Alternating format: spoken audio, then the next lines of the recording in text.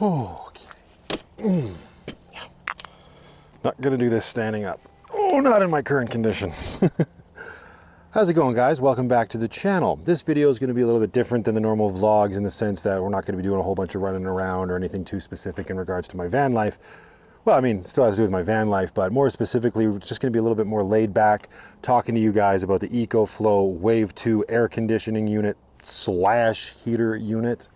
If you watch all my videos, you know that not too long ago I did a, my first initial video on this product it was a review of the product, but it included the unboxing and familiarizing myself with it, getting it set up and uh, going through some of the features.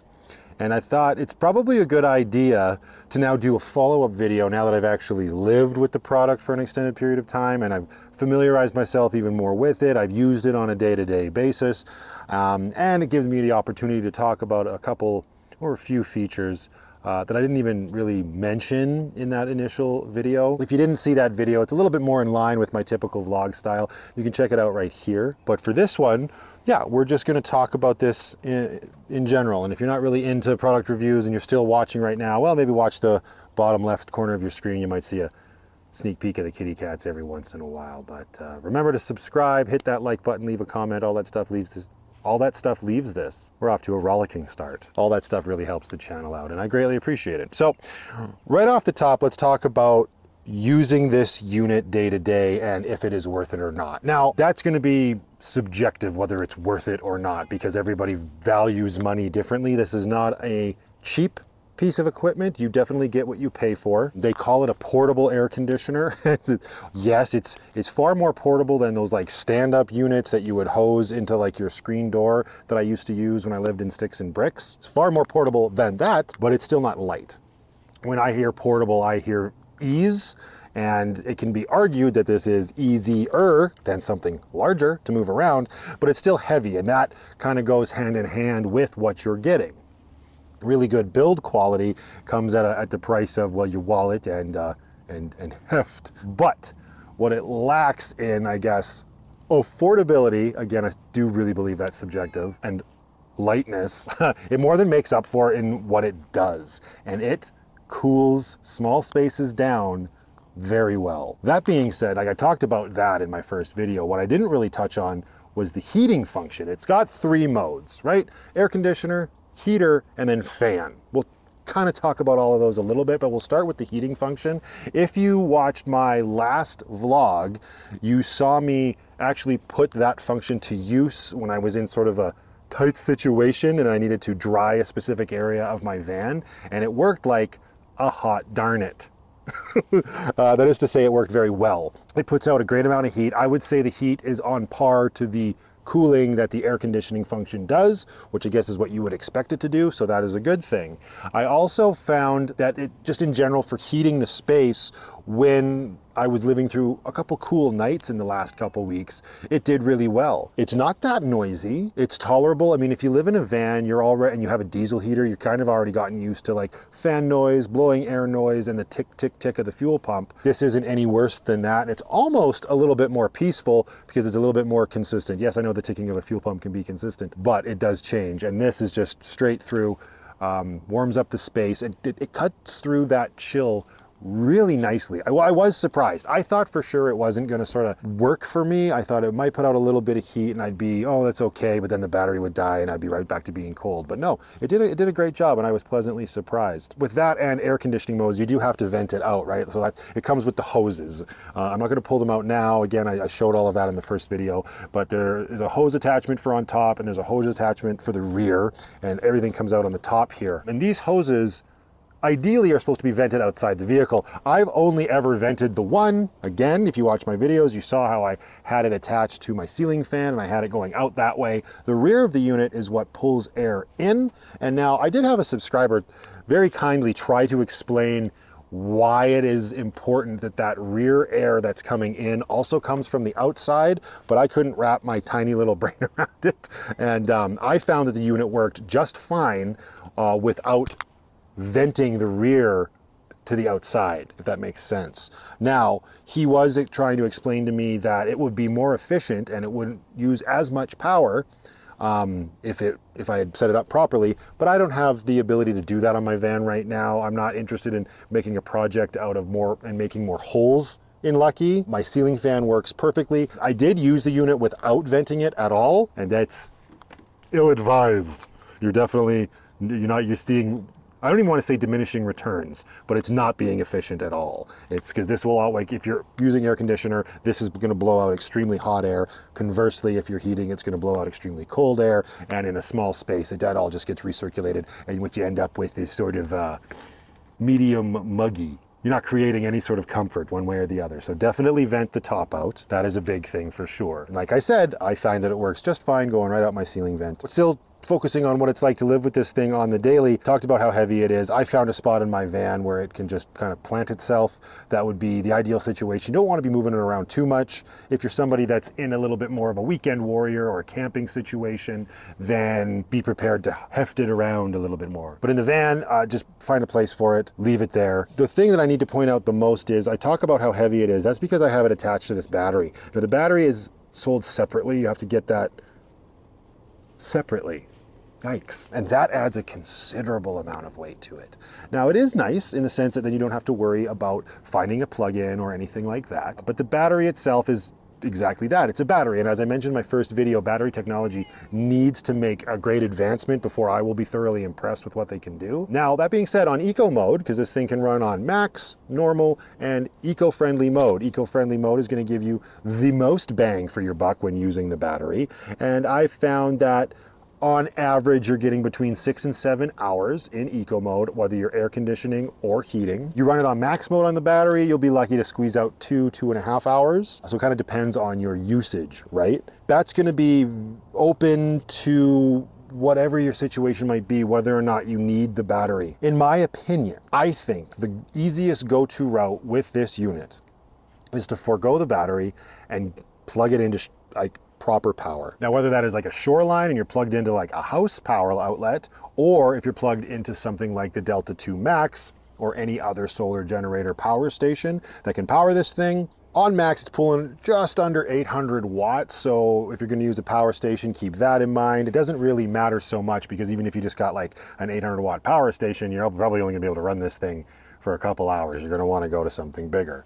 Like I said, this unit ain't messing around, but when it comes to wanting to cool your home down when it's really, really, really, really hot, this is a game changer for sure. But again, if you are somebody who wants that battery, in that case, the way I sort of play that scenario out in my head is that you're gonna wanna use it to maybe cool down your space in the evening when it's still quite hot or muggy or chilly, I suppose, and you want it fully charged, ready to go. And the reason I sort of mention that is because as I showed in one of my camping vlogs, the ports on the side of this thing, where you plug it in right down here, this is the battery connection. This thing just comes right off. It can unplug from the battery and the unit itself.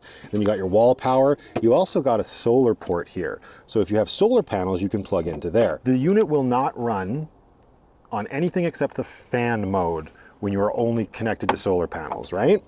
It just doesn't have, it's not, it's not getting enough of an oomph to switch over to air conditioning or heating. But that might work pretty well for somebody who just wants to be off grid, but isn't gonna be in their small space throughout the majority of the day. That maybe they're going out on the lake or they're gonna go for a hike or something. They could set the solar panels up to charge the battery because the unit will suck solar through that port and send it to the battery and charge that up throughout the course of the day so that when you come back in the evening, you'll have a fully topped up battery. I didn't even talk about that in my first video because it didn't even cross my mind. And I was pleasantly surprised when I discovered that that's the way that that function will work the absolute best. All right, one more thing I didn't talk about in that first video that I have been pleasantly surprised with is the app that you can download from the App Store or the Google Play Store or wherever else you might get your apps these days. I don't know. But it's the EcoFlow app and it connects very seamlessly through Bluetooth to this and any other uh, EcoFlow product as far as I know. And I'm gonna throw this up on the screen here so you can kind of see just how awesome it is. There we go. So this is the interface, right? We've got the uh, unit there in the center of the screen,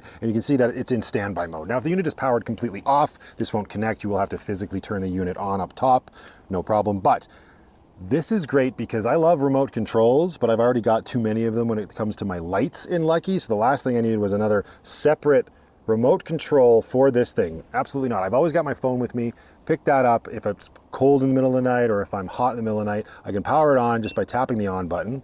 You can hear that the unit turns on.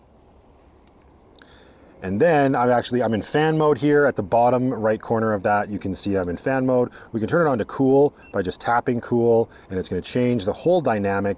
That is so cool. And then this, this slider, you can change exactly what you want the temperature to be, right? Just wherever. I mean, for me, when I'm on air conditioner, I don't know about you, but I always set it the absolute lowest. I need to cool down now. You can turn the fan speed up just by tapping, right? Switch everything, super easy.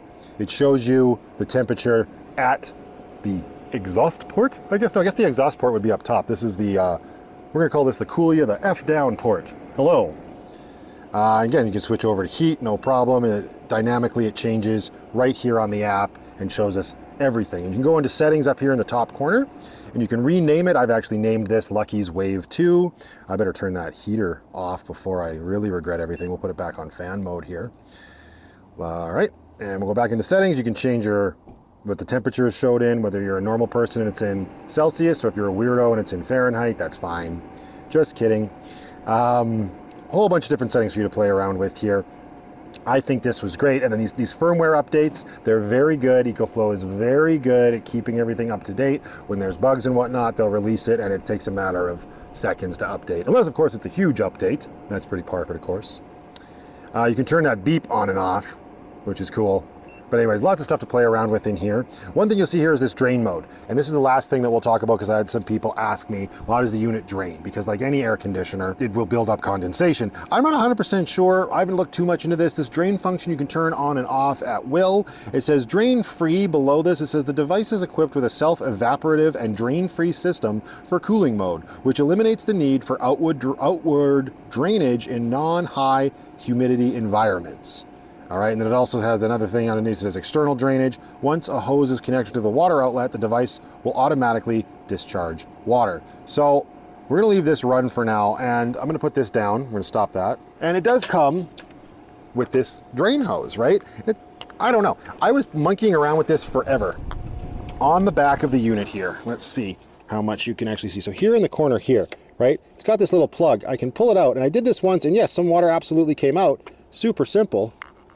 It's supposed to be able to, you're supposed to be able to leave this in and just attach this hose as far as I know, like this. And then you could tell it to drain and I guess it would. I haven't used it enough. So obviously, I guess I, I guess I haven't used it enough to build up a, a considerable amount of condensation. Although it did say maybe there's some weird space age technology in here that's just returning that moisture to the air, the little that I am generating. It says it was evaporative. Evaporative to me means back into the air. But if need be, you can just pull this plug right out. I did do this once and you just take the unit, you can just tip it backwards and it will drain. But unfortunately, very anticlimactic for the purposes of this video, nothing coming out. So that is there and it is easy, but unfortunately I can't comment on it because I guess what they're saying is working very well. We're outside. Stop air conditioning the outside world. This is redonkulous. So to sort of wrap this up here, um, when it comes to this unit, I stand by the fact that it is an absolute game changer. Yeah, it comes with a lot of caveats. You got to be prepared to sort of adjust things in your van if if your van is like mine and it's fully built and you kind of have to work around adding new things like this. But I'm very thankful for EcoFlow for reaching out to me and asking me to review this product because I live in a province in Canada where during the summer months of July and August, I understand we're not there yet. So maybe it won't be good, but I don't see that being the case because I've experienced it on what have been pretty hot days already and it cools down the van very nicely. And if I happen to be at a campground with power during the height of those summer months, I'm gonna be laughing when it comes to this thing because I could just leave it run all day and I could go inside my van when I get overheated, which happens a lot because as I mentioned a lot recently, I run hot. And this thing is just, it's, it's basically a godsend. Now there's other options out there for sure. People are gonna find out other ways to do things, but this is just such an easy all-in-one package. The ease of the app makes things super convenient to control. And as long as you don't mind sort of hoofing this thing around. Like I said, if you don't need the battery, it's actually a heck of a lot lighter. And that is my go-to way to do this. Once I do start camping and it is those really hot months, this battery is gonna come off, it's gonna go into storage, and uh, I'm just gonna have the unit in the van and no muss, no fuss, cool down the air. What more can I really ask for? If you have any questions about the unit, ask them in the comments below. I'll do my best to answer. If you'd like to pick yourself up one of these units, there is a whole bunch of information in the description of this video. You can probably snag yourself a little bit of a discount and uh, obviously that would help me out as well.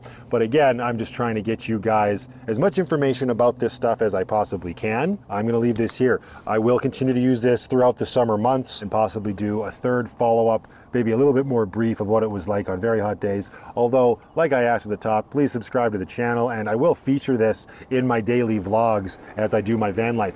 I do suggest not putting your arm right up on top when you're talking to your phone because your arm lands right on the power button. Unbelievable. That is it for my thoughts on the EcoFlow Wave 2. I guess one other thing I should mention here right before I sign off um, is that when I did connect it to the Delta 2 Max, which is the huge beefy new power station from EcoFlow as well, it's like, it's like peanut butter and jelly, man.